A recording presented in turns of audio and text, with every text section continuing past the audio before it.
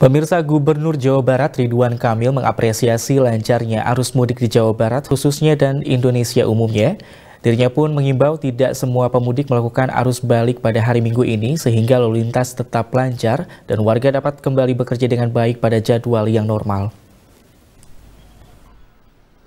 Ditemui usai sholat Idul Fitri di lapangan Gasibu Bandung Rabu pagi, Gubernur Jawa Barat Ridwan Kamil menyatakan apresiasinya terhadap arus mudik di Jabar, khususnya yang lancar.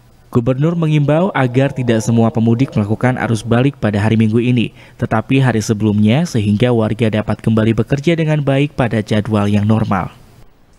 Mudik lancar kan, e, wartawan tolong apresiasi, monitor, ini kerja keras bersama dari elemen kecil sampai besar dan saya doakan kelancaran ini juga berlangsung pas arus balik yang diduga akan terjadi Sabtu dan sampai hari Minggu. Budi Hartati, Bandung TV.